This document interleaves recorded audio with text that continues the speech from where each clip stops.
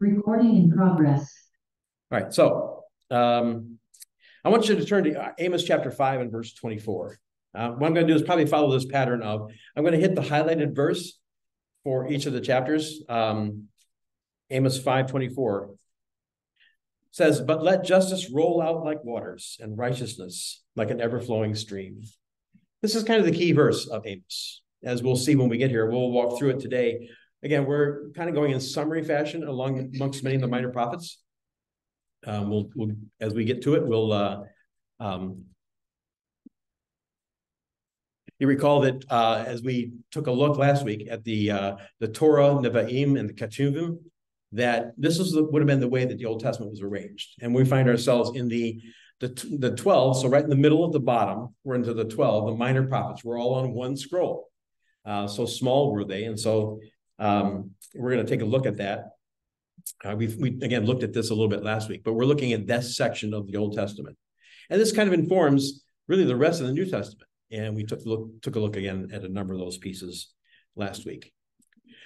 Um, what I want to do is just give you a slight overview of um, all the 12 prophets. And this is my understanding. There are a few decisions to be made. Some people are, some of the prophets are what are called, they're either a late date or an early date, and there's some question as to which one they really are. Um, Joel, we looked at last week, is one of those. I think it's an, a later date, not an early date. Uh, by, that, by that I mean, by that I mean, sometimes people put Joel in the eighth century, and just given uh, what we see there, I don't think so. I think Joel is probably one of the later prophets along with Malachi. Uh, but we're looking at Hosea, and then to, we looked at Hosea a year ago, and now we're looking at Amos, and we'll look at Obadiah next week. And I'll give you, give you a slide for that next week. But it kind of gives you an idea of where they are. Um, all right, so let's let's go on to the next slide. One of the things I want you to understand as we get into, into Amos is how the prophets are being prophesied, or the how the nations are being prophesied as we get into it. Um, the judgment of the nations. So if you look up on the upper right hand side, you have the kingdom of Aram, and the capital of that was Damascus. I'm going to be here a little while, so don't rush. Uh, you can rush if you want, but I'm going to be here a little while. Um, but you have the, the, the nation of Aram, and we're we're prophesying against Damascus. And so you find that up in the upper upper right-hand corner, right? Cross down completely down to the lower left-hand corner, and you have Gaza, or which is the first town that's, that's prophesied against there, into the country of Philistia. So um, let's see, Aram to Philistia, and then we go straight up north to Phoenicia and Tyre, and then down to Edom. What have I just done with the first four nations? Aram, Philistia, Phoenician, and Edom. Take out your hand, use your right or left, either one, and and crisscross or go from follow each of the nations from Aram to Phoenicia, up to or Aram to Philistia, up to Phoenicia, down to Edom. What have I just done? Big X. A big X. And I don't think that's accidental. In, in terms of the geography, Amos is laying out how he's taking care of all the nations. And then he takes care of Ammon and Moab. Every nation that surrounds him, he God has through Amos then essentially done a big X on, and judgment across all the nations. And I don't think that's accidental. Um, so you can you can take that for what it's worth. Uh, but I I thought a, a geography lesson might be might be good today. All right, so what I want to do is give you from there um, what is the key, the outline here. So we're going to look at chapters one and two, where the eight nations are judged. And by eight nations, we're looking at, let's see if you can just, can you name the eight nations? Aram. Very good. Very good. Philistia, Phoenicia. Phoenicia, Edom, Ammon, Moab, Judah, and Israel. Right? Those are the eight nations. Aram, Philistia, Phoenicia, Edom, Ammon, and Moab, and then Judah and Israel. Eight nations are going to be judged in these two chapters. Uh, and of course, with that, the six Gentile nations and two Jewish, na Jewish nations. In chapters three through six, there are three messages that we'll give. Uh, first, that Israel's judgment is certain. The second, that Israel's sins are denounced, and that Israel's doom is lamented. Now, given that it took me eight weeks to go through the um, war, the armor of God, how are we going to make it one week in, yeah, you watch. All right, and then finally, the, the last part is chapters seven through nine, five visions of judgment from the locusts, the fire, the plumb line. There's a little bit of a historical interlude that happens of Amos being described as, as going to, uh, to Bethel. And then finally, the basket of summer fruit and the ruined temple. And then finally, this glorious talk of what happens when the nation's restored. And one of the things that we find in almost all of the minor prophets is this aspect of judgment's coming and you better beware. And the fact you have all eight of those nations in this small area, meaning that judgment's coming for everybody if they don't repent. But with the concluding verse, and even inside the chapter, in, inside the book itself, there's this there's this overriding theme of if repentance happens, God relents of that judgment and that wrath, and that's the kind of God God is. All right, so let me stop there. Any any questions? All right, we're gonna uh, go back to the beginning again. So we'll uh, um, we'll pick up with this uh, this section. All right, so just kind of a way of introduction then. Amos prophesied to Israel during the reigns of Uzziah and Jeroboam II, when both kingdoms enjoyed peace and prosperity, and they were unequaled the, since the reign of Solomon. Um, and Jeroboam will become important later on as we talk about the cows of Bashan. Despite its healthy appearance, though, Israel was in an advanced state of decay. Uh, socially, morally, religiously, Jeroboam did evil in the sight of Yahweh and continued in idolatry. Uzziah, though a good king, failed to remove the high places. So he went part way, but not all the way.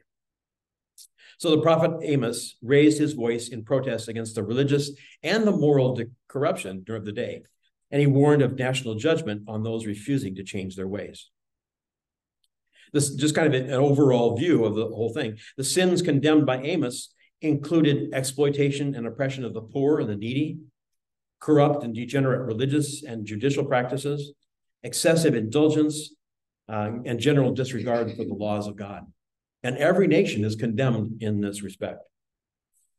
In dealing with the sins of Israelite society, as we go from it's it's understandable that the Gentile nations wouldn't be following God. And yet there's some familial allegiance that each of these nations has because they can all trace the back their descendant of, of Abraham. Abraham, Isaac, and Jacob can trace all their you can trace all the nations around there and their lineage back to descend, being the descendant of Abraham. Uh, in dealing with the sins of Israelite society, Amos warned of impending judgment, but he also called the people to repentance. And Amos insisted that true religion and biblical morality are inseparable if you're religious, you will be moral. Isn't that what the book of James is about too? This is not a new theme that comes, James suddenly, you know, arose. Not only is James a commentary, if you will, on the Sermon on the Mount, that's a study for another day, but James is a commentary upon the Old Testament as well. That when we are touched by God, when he gets inside and he, he, he performs a radical transformation of our hearts, our lives change as a result. And that's if we're not changed, that's an evidence that we might not be changed from the inside out. Amos insisted that they're inseparable. And of course, we find that in James again. He, he called the people to let justice roll down like waters and righteousness like ever flowing streams. That's why chapter 5, verse 24 is really the key verse is that our lives should change and justice and doing away with oppression and bringing justice um, ought to be known by, of every believer. In an ethical sense, righteousness refers to what conforms to the divine standards of God. It's in its um, the righteousness per, the righteous person recognizes God's standard, treats others equally before the law, and Amos himself appealed for people to let these two qualities characterize their dealings with God and other individuals. Only then would society function according to the divine plan or the divine norm. So that's kind of an overview of Amos. You get an idea that oppression, justice, um, even dignity um, are going to be inherent in there. And we're going to look at, at the chapters in not great detail, but a little bit more detail. So we're going to start in chapter one and two.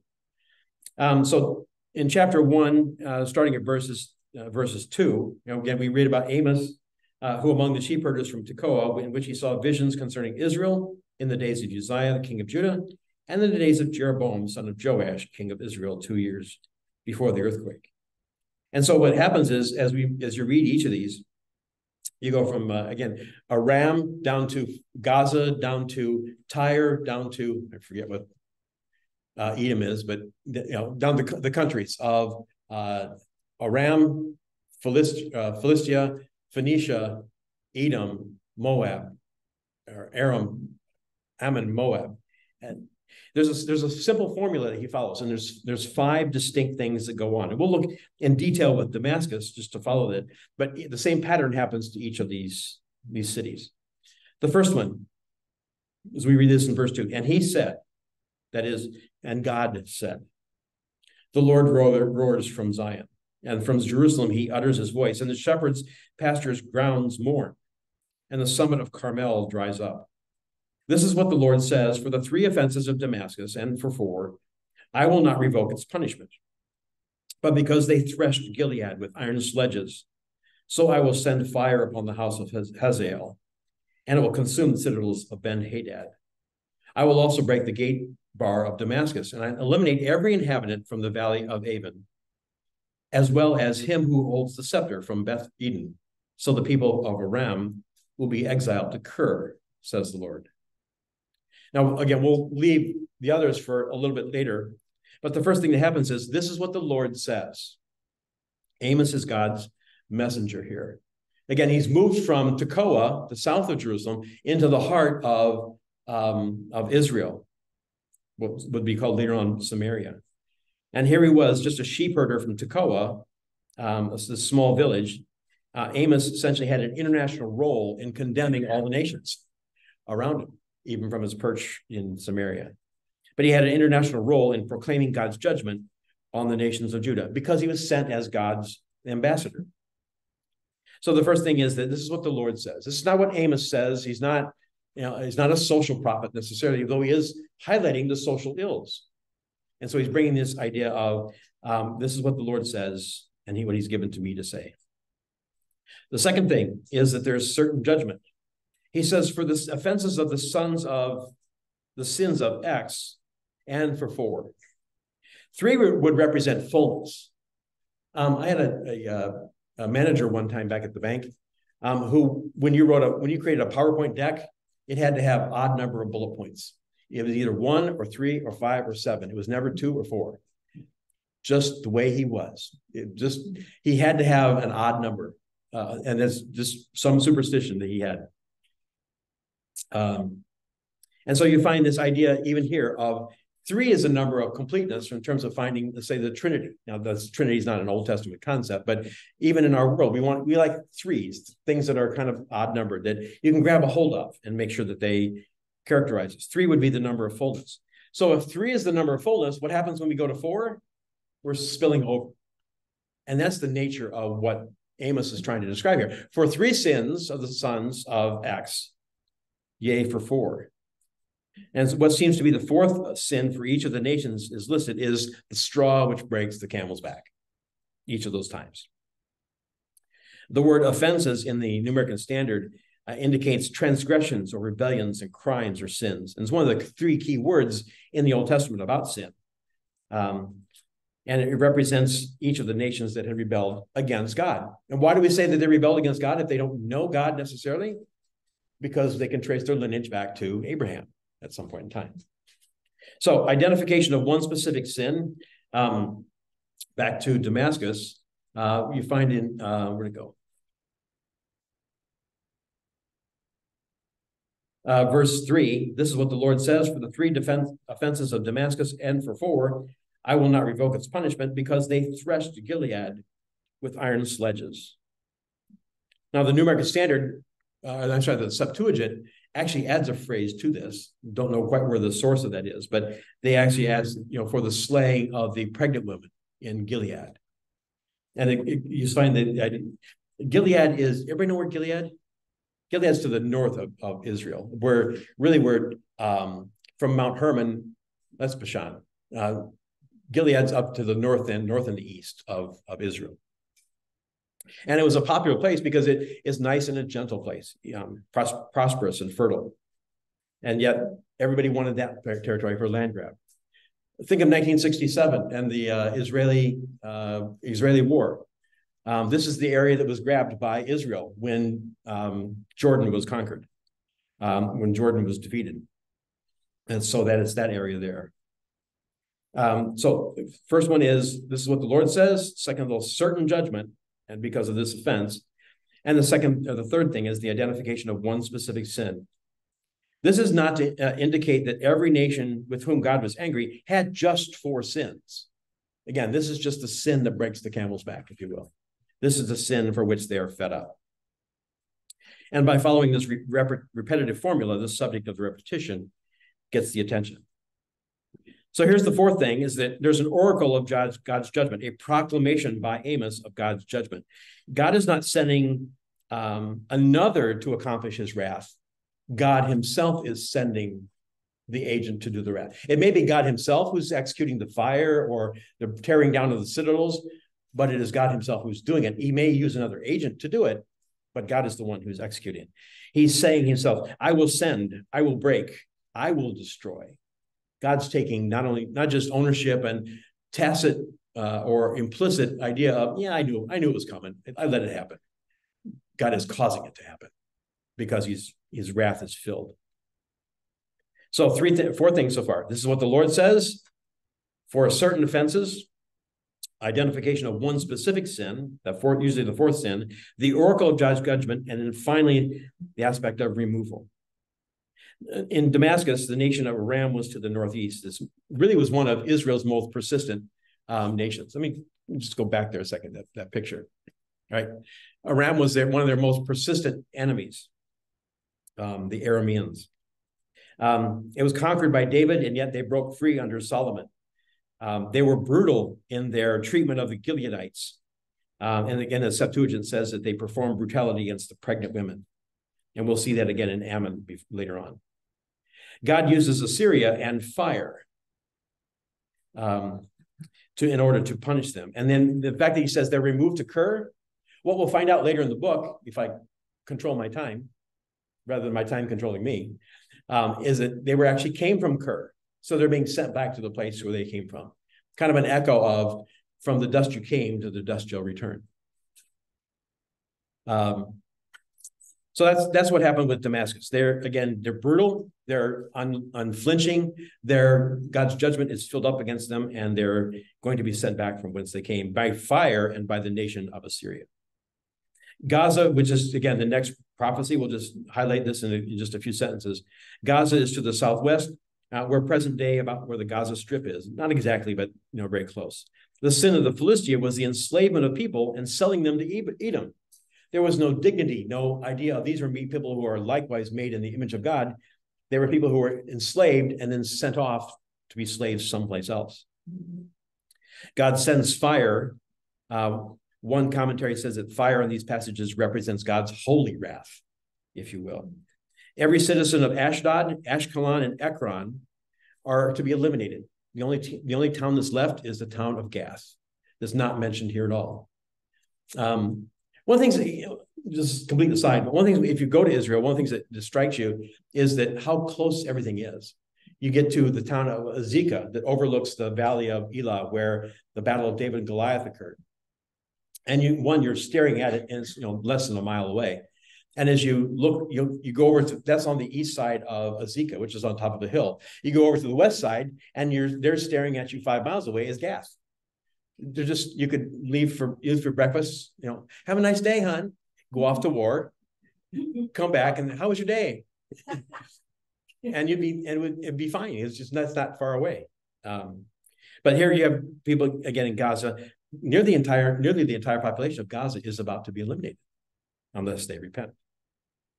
Um, Tyre, uh, which includes Phoenicia, they were involved in the slave slave trade as well, and fire happened to them. But what happened also to them is that they they had their protection removed from them.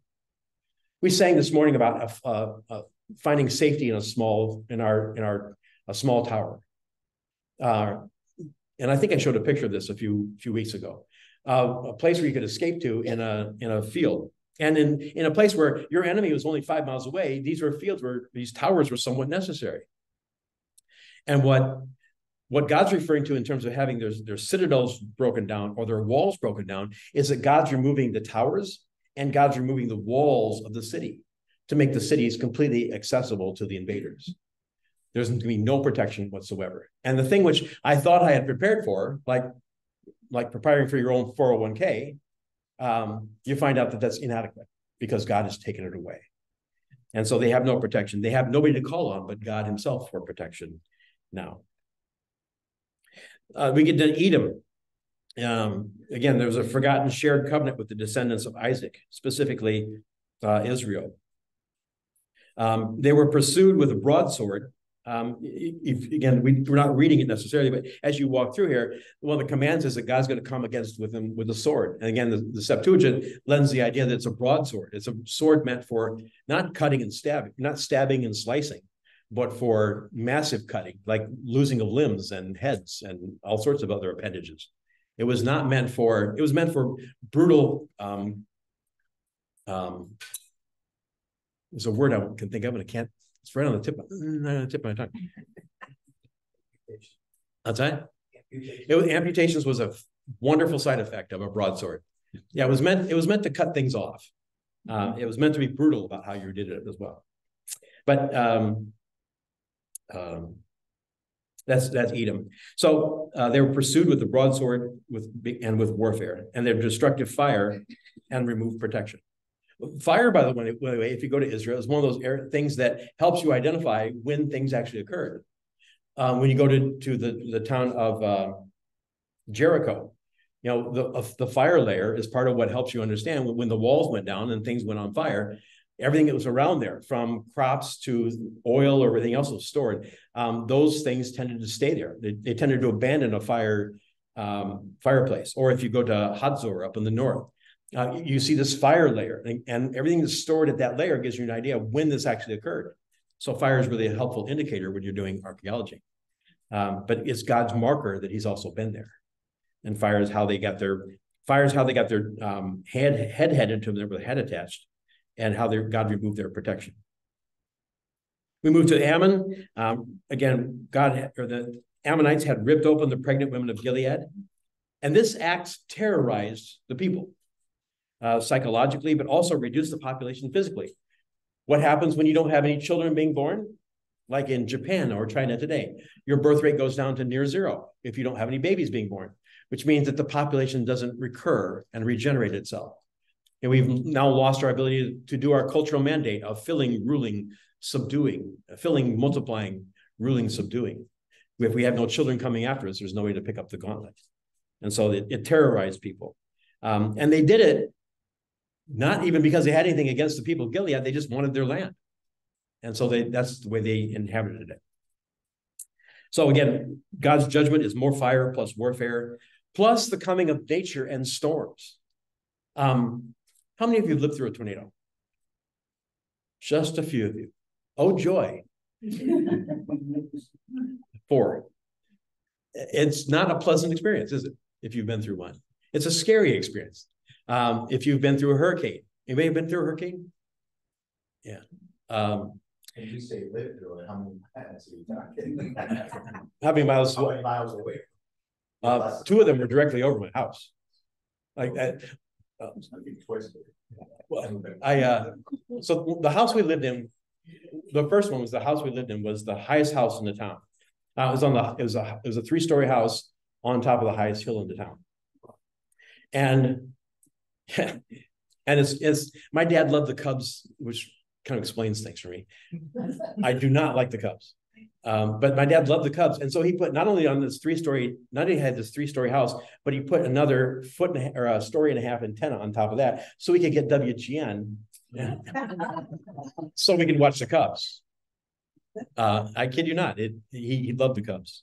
My best day was when he took me to see the Philadelphia Phillies to watch the Cubs. And um, the Philadelphia Phillies came behind in the seventh inning and uh, and beat the Cubs, who were ahead seven to nothing, and the Phillies won that day, eleven to seven. Yes.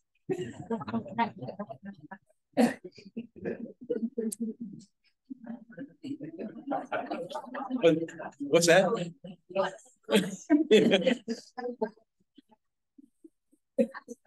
Any other comment about living through the tornado? Oh, yeah, yeah, that's right. Thank you. Appreciate that.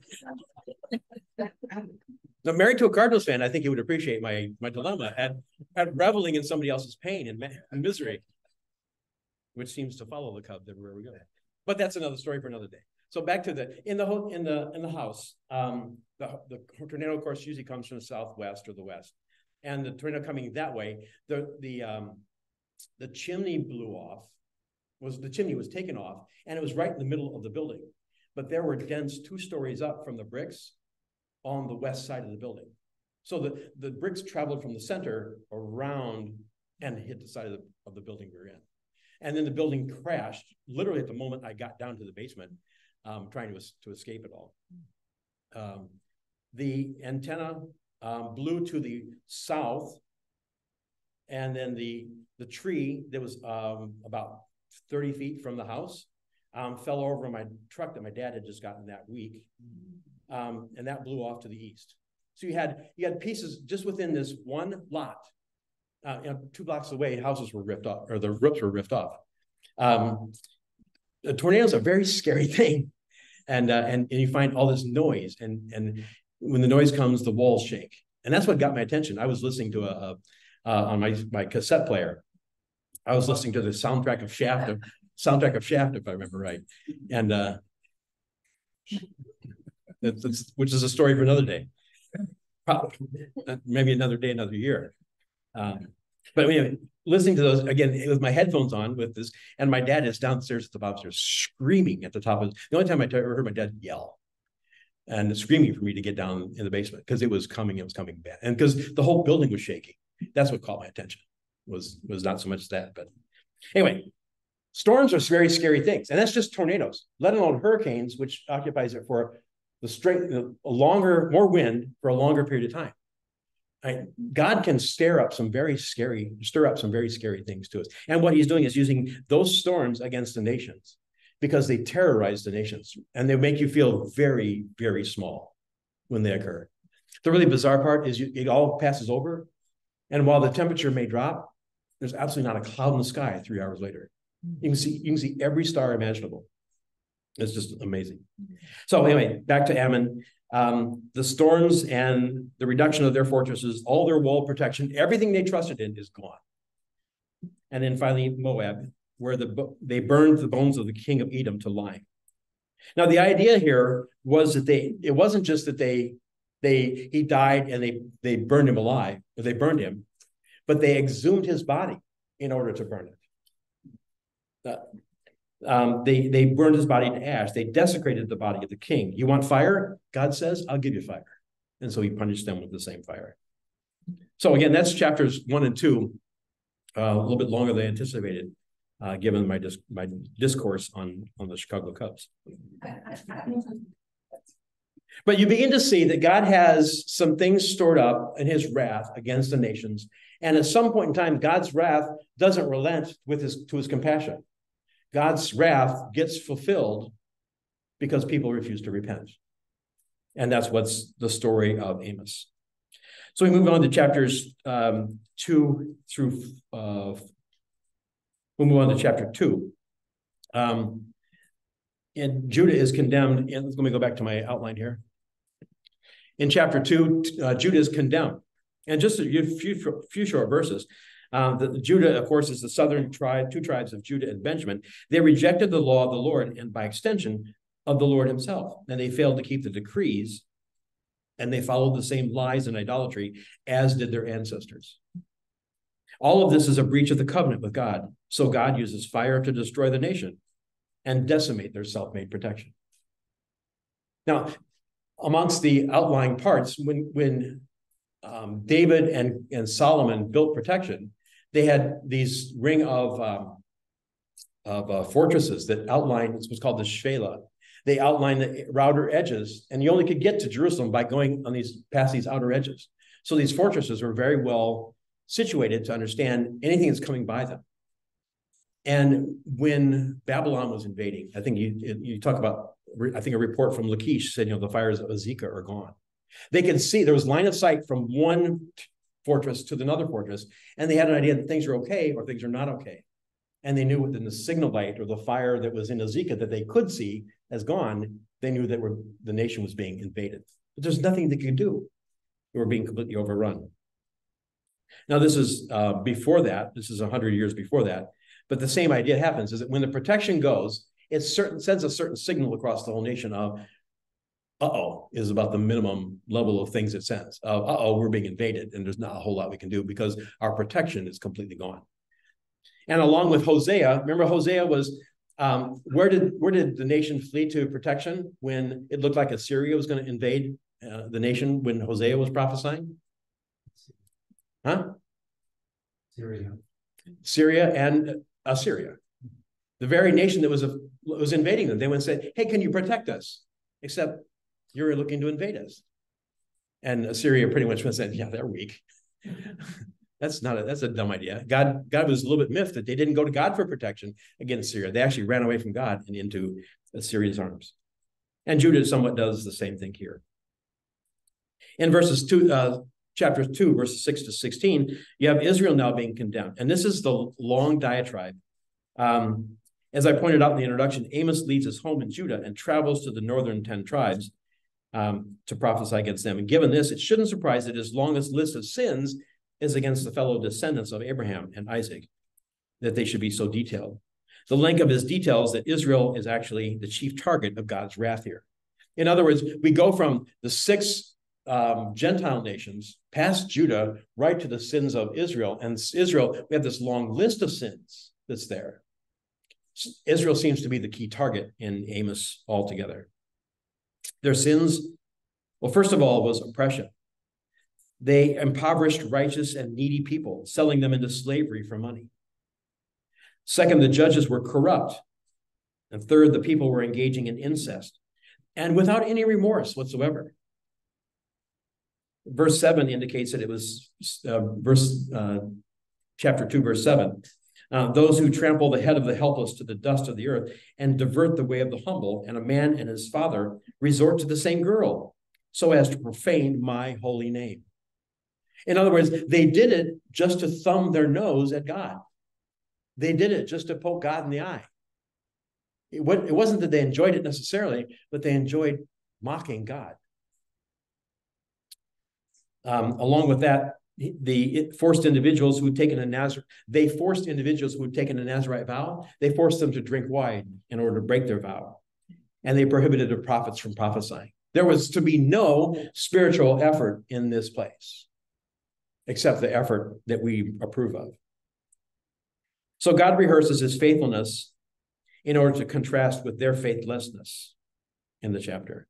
In mm-hmm. turn, God rolls over the nation, as you will, as he says, as, as something comes underneath a, a, a wheel of a chariot, something creating a rut.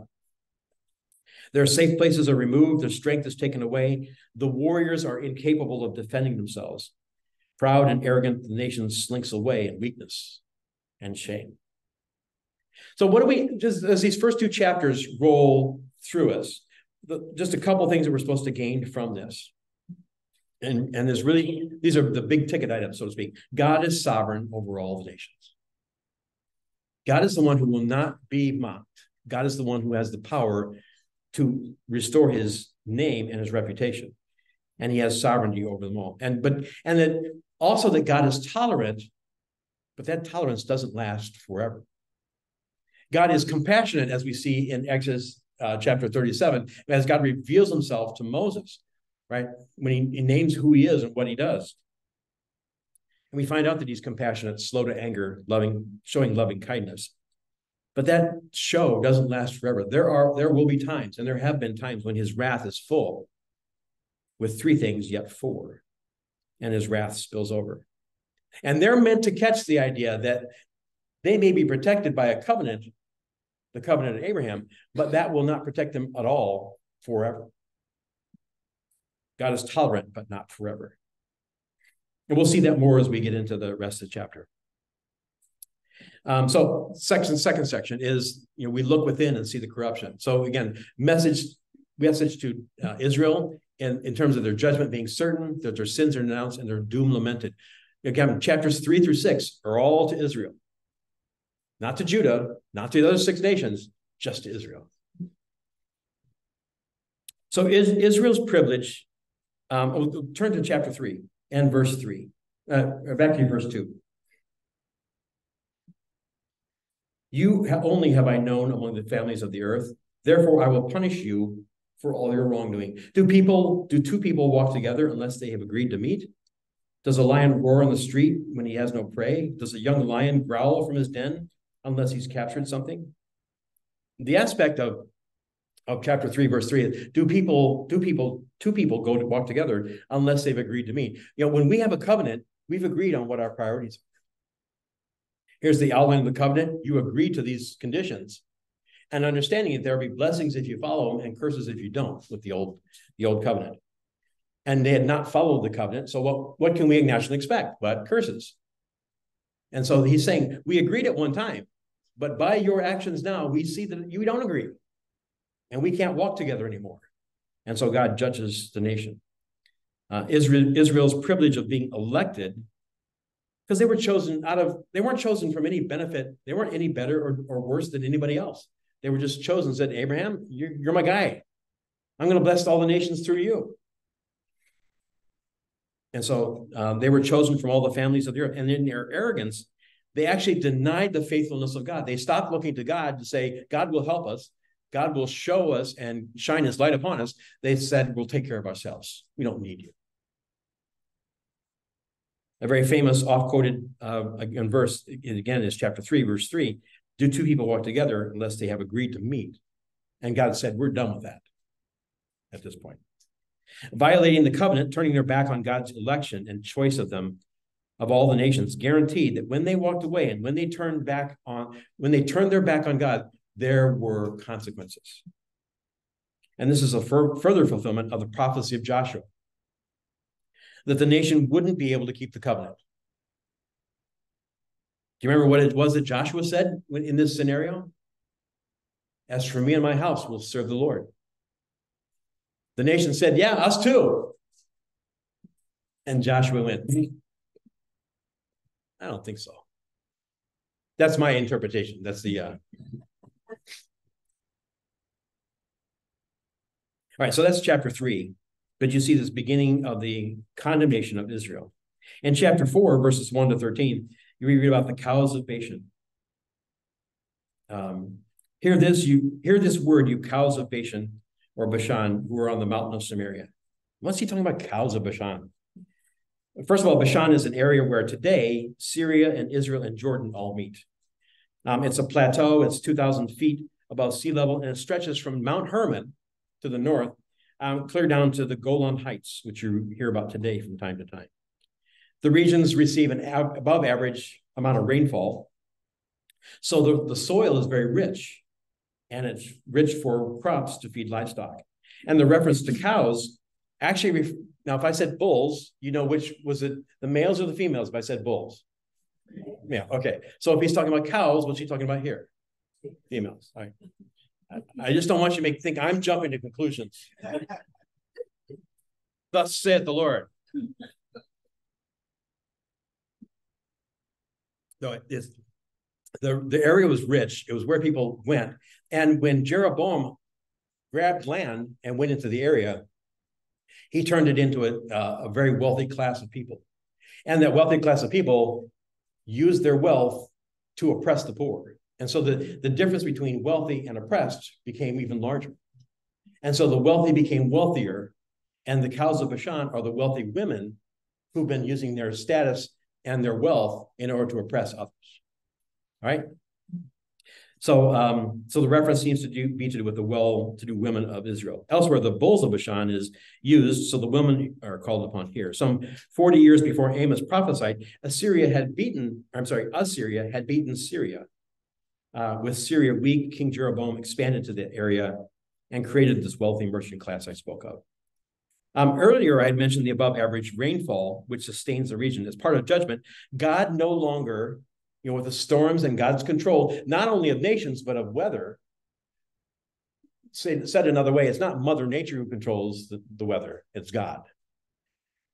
He controls the weather to such an extent that whereas they depended on the above average rainfall, God stopped sending it.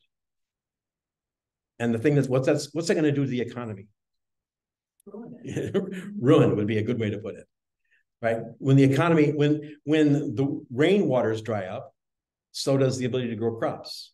So does the ability to feed your animals. So does the ability to provide food for the other part of the nation. And when you're not selling your goods and wares to the other part of the nation, you're not getting any money coming in the door, which means you're having to go buy for the things you used to produce, which drains the money even faster. And so the nation goes bankrupt. The things which they had thought would protect them, their 401ks, their money in the bank account, the fat cows that they had, not talking about the women. The, the cows were very wonderful to have. They, they were talked about being, you know, spoken of as being good cows. Everything that they everything they trusted in is gone. And so God's judgment happens to them. God gave them um, so again, the, the, cities don't receive the rain. Um, what happens when the city don't don't receive the rain is that the city where the their drought, those people tend to try to go to other cities which do. So not only you're you draining everything because you're having to essentially dip into savings to buy food which you used to produce, now they can't get the things done in the city where they lived, so they go to another city, which drains those cities even faster. So it just it's catastrophic the way to see the way the economy falls in on itself. And that's all by the determined plan and foreknowledge of God. So the people have turned their back on the blessings of God. He in turn draw, withdraws his grace from the land. And yet, amongst all this, God calls for repentance. Even though he, he, God is showing his wrath and his anger, he still offers repentance. And that's the same God we have today. A couple of verses are noteworthy. Uh, go down to 411. Um, only because it's quoted in the 1700s. He says, I overthrew you as God overthrew Sodom and Gomorrah, and you were like a log snatched from the fire. That ring true of anybody you know or read about? If you know about them, you're really old. That's what that's the verse that John Wesley used to quote when he got saved. Was talking about being a log snatched from the fire, burning ember snatched from the fire.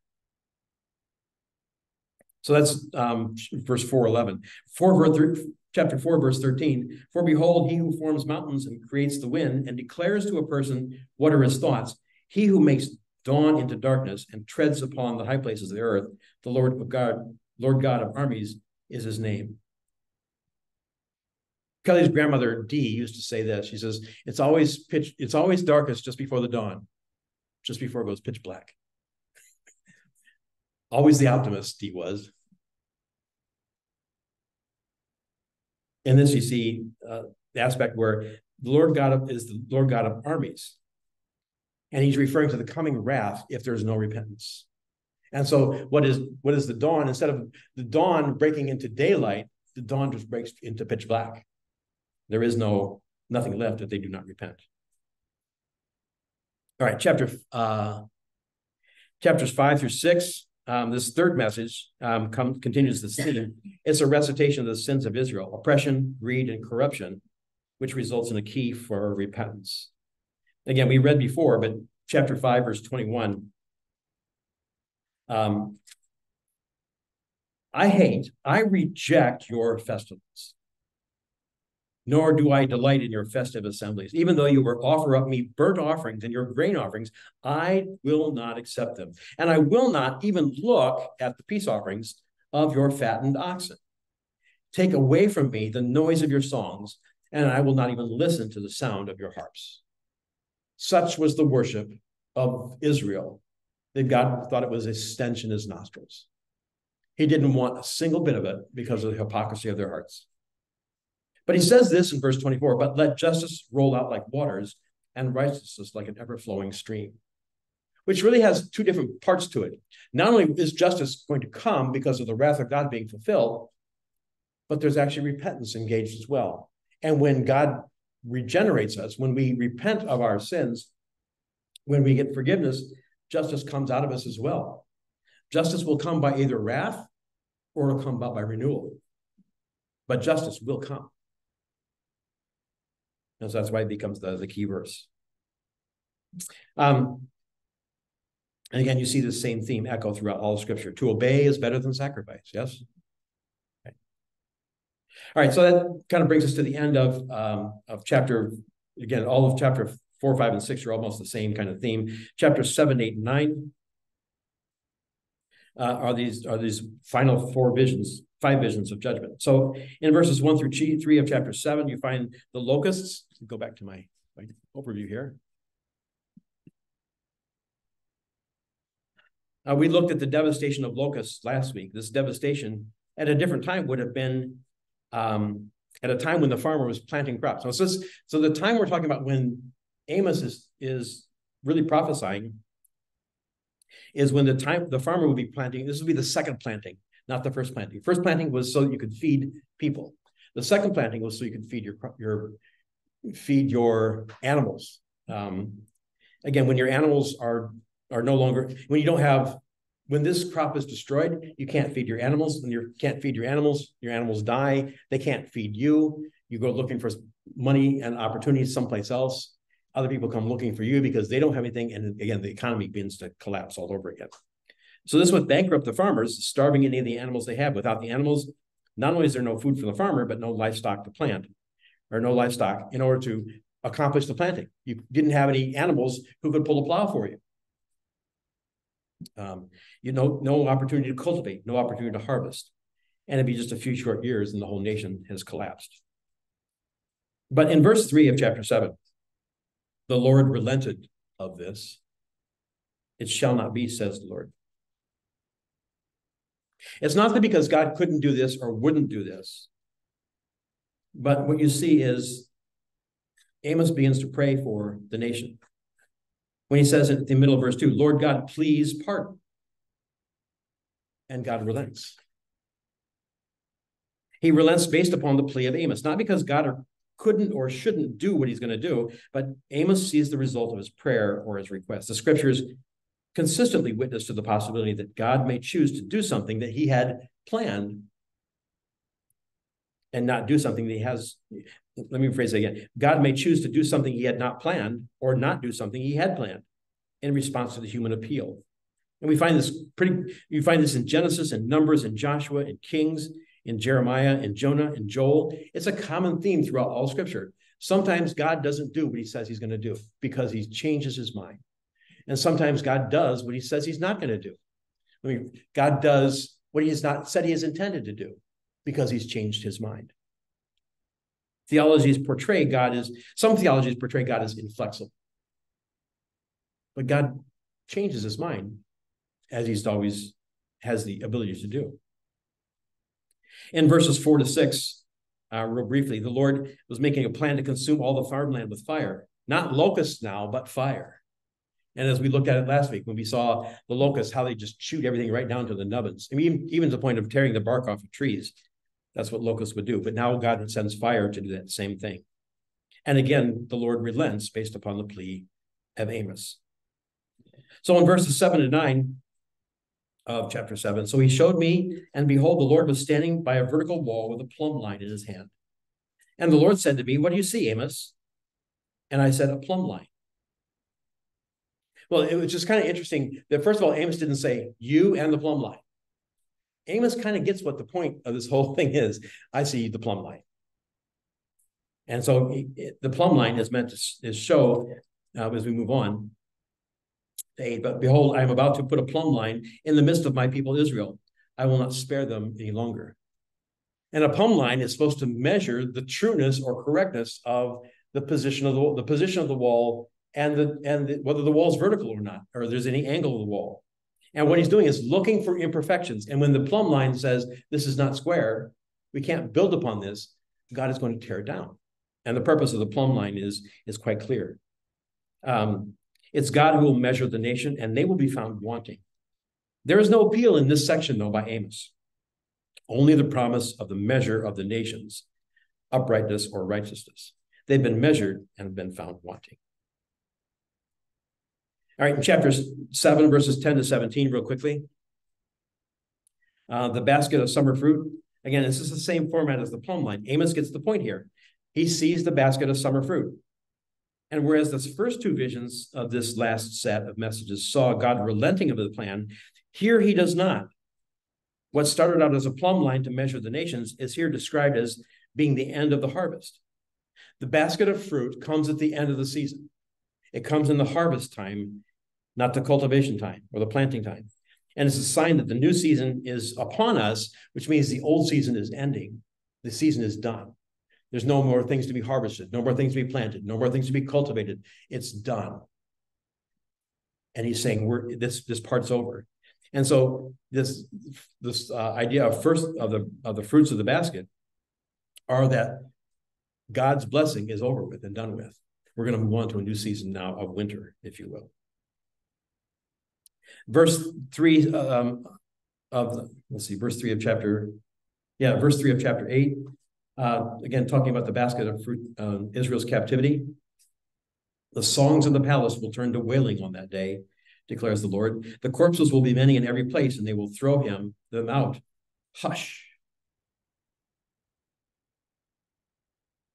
In verse three of the song places the, the palace, the songs of the palace turn to wailing on that day, and there'll be corpses. And God's response to this was hush. Now, we've looked before that God is a God who speaks and God is a God who hears. And that's true.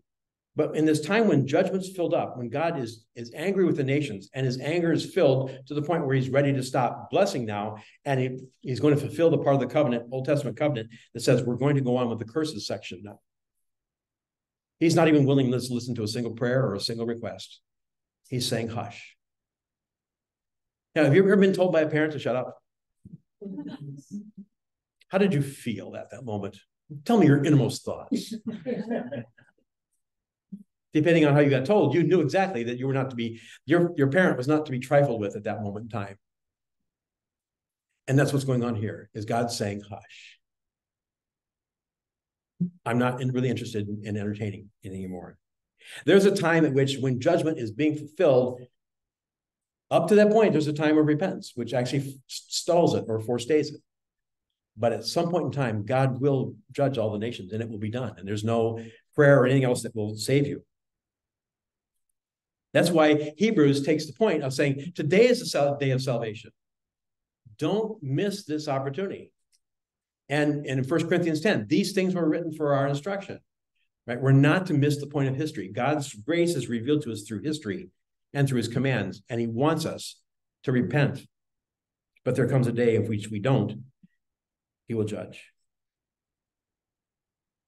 So again, from you see the idea from Dan on the way to the north to Beersheba, all the way to the south. Again, all of Israel will be judged. God is judging injust, injustice in verses four to eight of chapter eight. And instead of God who's kind and compassionate, slow to anger, as we see in Exodus 34, we see the full brunt of his anger. The famine of God's words. God stops speaking to the people. Not only does he want the people to stop speaking to him, he stops speaking to the people in chapter 8. There's a famine of God's words, and now even the people look for some hope. God is completely silent. You get the idea, and even as we continue on, just in gloss, glossing over chapter 9, which is saying somewhat the same thing, that God has had it with the people. Uh, that's been the point of the whole chapter, the whole, whole book, right? God is ready to be done with it. Um, even the idea of this final oracle in chapter 10, God's standing by the altar. Um, and not just any altar, but the altar of a temple. Now it's unclear which which temple, um, but God's standing there, and there's no worship that's supposed to be going on. God doesn't want to hear prayers. God's not interested in speaking to people anymore. And in, in fact, the temple collapses. The pillars get struck so that the threshold shakes and breaks everything down. There are no survivors for anybody who was in the temple at the time. There's no hiding place.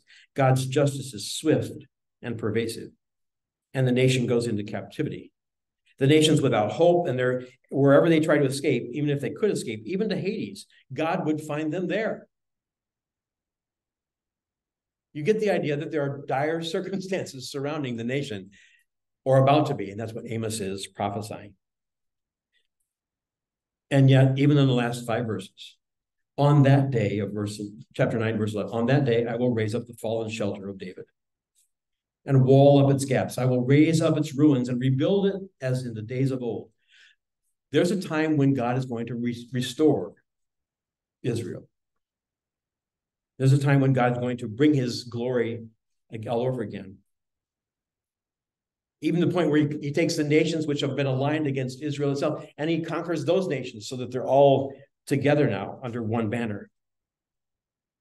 He raises up the fallen shelter, the tent, the dynasty of David.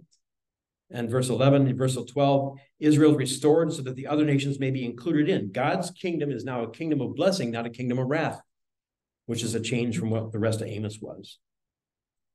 The tent of David's restored, the nations are included, and even Edom itself. God is that kind of a God who wants to make sure that we have the opportunity to repent. And he gives us every opportunity to do so as we kind of pull this together. God wants faithful men and women. And when we're not faithful, there is a judgment of God coming.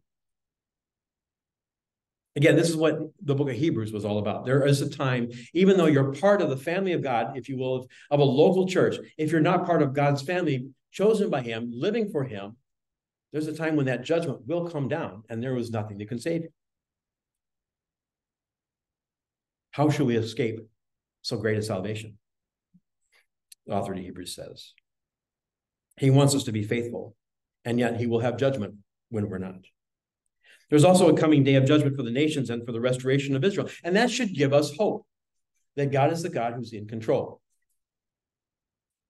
And what is justice today? We're reminded that um, one last passage, highlighted so I won't have fun, um, of chapter 5, verse 15. Hate evil, love good, and establish justice at the gate. This is what God's people should be known for. And if you think about it, when we were looking at the, the armor of God, what was the second part of the armor? Remember? It's a pop. Here's my pop quiz for the day. First one was the truth. Second one was the breastplate of what? Righteousness not only exalts a nation, righteousness is what defines, it should define what the God, people of God are. And when we're not, God can rightly ask, Are you of me? That's kind of what Amos is leading to. Again, it's a different time and a different age, but we are to be known as people of righteousness. People of faith should be known as people of righteousness.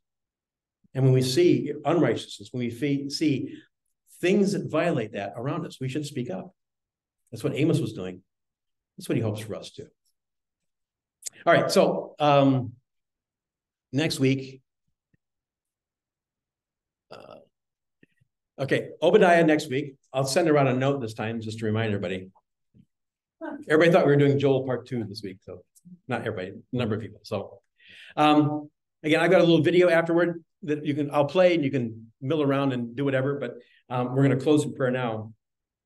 And uh, again, thanks for coming. So again, Obadiah next week, and let's let's close in prayer. Again, Father, we thank you for the, the day. We thank you for your character, which gives us goodness.